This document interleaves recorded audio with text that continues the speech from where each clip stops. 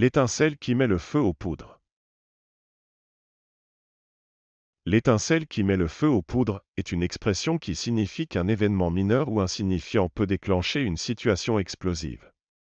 Il s'agit d'un événement qui peut sembler anodin à première vue, mais qui peut avoir des conséquences désastreuses et imprévisibles.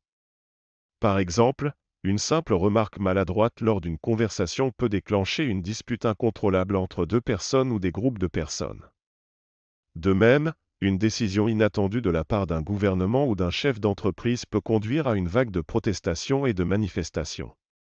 Dans tous les cas, la métaphore de l'étincelle qui met le feu aux poudres souligne la puissance de l'élément déclencheur, qui peut avoir des conséquences dramatiques et imprévues. Il est donc important d'être conscient de ces éléments et de savoir comment les gérer pour éviter une situation explosive.